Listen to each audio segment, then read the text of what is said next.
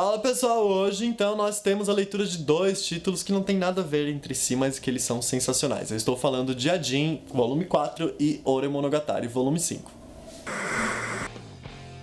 Bom, pessoal, então vamos aqui começar com Oremonogatari, volume 5. Pessoal, como sempre, muito carismático, muito engraçado. O nosso personagem Takeo, eu percebi como as autoras conseguem explorar esse personagem com maestria, porque ele sempre tem alguma cena extremamente engraçada. É, sempre tem piadinha por conta do tamanho dele. Eu vou falar bem resumidamente de Oremonogatari e de Adin também, senão vou acabar dando muito spoiler. Mas enfim, uma outra garota acabou se apaixonando pelo Takeo, e aí, como é que ele vai lidar com isso? Isso já vem vem correndo desde o volume 4. No quinto volume nós teremos a finalização dessa história e eu achei muito legal que as autoras elas fizeram de uma forma muito respeitosa, sabe? O, o Takeo ele é muito fiel às pessoas que ele ama. Ele, ele, é um. Cara, ele é sensacional, ele tem uma personalidade muito curiosa. Eu observo bastante isso nele. Ele não tenta repelir ninguém, ele mantém todas as pessoas próximas dele, sabe? E aí, neste volume, nós caímos num assunto que quando eu parei para pensar, eu fiquei meio em choque, fiquei um pouquinho incomodado, já vou comentar com vocês, que é o assunto beijo beijo, né? O Takeo, ele percebe que já tá na hora de dar o primeiro beijo na Yamato. E aí eu fiquei meio em choque, tipo,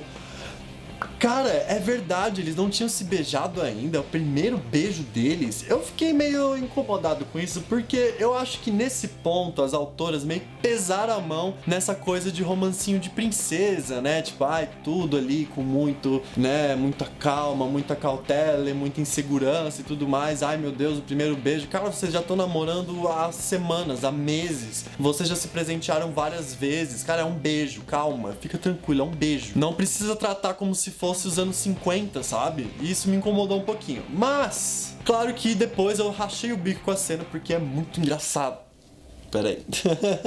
Porque é muito engraçado essa cena do beijo deles. E no final a gente só consegue achar que isso aqui é tudo muito divertido. Tá aqui um dos meus personagens favoritos, cara. Como ele é bem feito. Ore Monogatari, como sempre, está sensacional. Não vejo a hora de ler o sexto volume.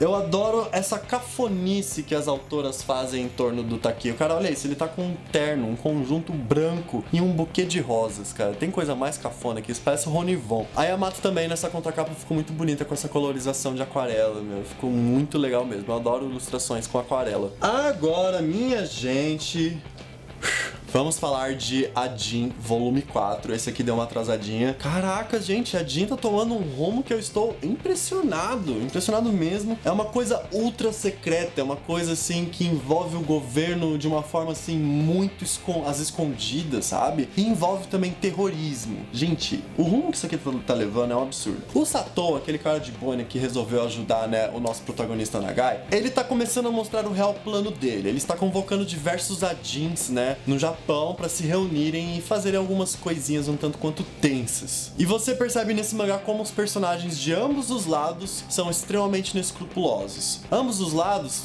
três lados, porque eu percebi que existem três núcleos, cada um fazendo da forma que acho melhor ali o seu plano e tudo mais. Tem o governo, né, que quer catar os adins para fazer experimento, e o cara que é responsável por essa ação, ele é extremamente inescrupuloso, ele consegue, ele vai raptando as pessoas, ele arranca dedo das pessoas, tipo, é muito tenso. O Sato, que tá convocando os adins, ele tá fazendo umas coisas assim que você não consegue acreditar. A cena final disso aqui, gente. Cara, o final desse quarto volume eu fiquei embasbacado. Quem já leu, por favor, comente comigo, coloque entre colchetes, spoiler para ninguém acabar lendo sem querer.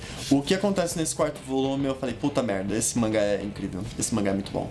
A cena é muito boa. Nossa senhora. Enfim. E o terceiro lado que eu queria comentar com vocês é o lado do Nagai. Cara, ele tá se mostrando um personagem extremamente indiferente a toda essa guerra que está acontecendo, acontecendo entre o governo e os Adins, né? Ele só quer salvar a própria pele dele. Ele não quer saber de nada, ele não quer saber de ninguém, ele só quer ficar de boa, ele quer fugir, quer ficar na dele. E aqui nesse quarto volume ele mostra claramente que ele está agindo por si só. Eu sabia que o Nagai ia me impressionar de alguma forma, todo mundo falava que ele é um personagem muito chato, é um personagem muito chato, não faz nada, não faz nada, mas ele ainda faz alguma coisa nessa história e eu acho muito interessante observar isso nele, tá? Bom, pessoal, o vídeo de hoje foi mais curtinho, espero que vocês tenham curtido, tá? Eu me segurei para não dar muitos spoilers, algumas pessoas andaram comentando que eu soltei uns spoilers nos últimos vídeos, desculpa, mas é que eu me empolgo demais com as leituras, né? E eu quero que vocês percebam escrevam as minhas interpretações pra gente conseguir trocar muita ideia aqui nos comentários, porque eu faço de tudo para responder todo mundo, tá? Mas enfim, próximos vídeos eu vou, né, segurar minha língua. Se você gostou desse vídeo, não se esqueçam de deixar o joinha, de se inscrever no canal e de me acompanhar nas redes sociais. Capitão Nigiri mais uma vez agradece a atenção de todo mundo. Nos vemos no próximo vídeo. Câmbio e desligo!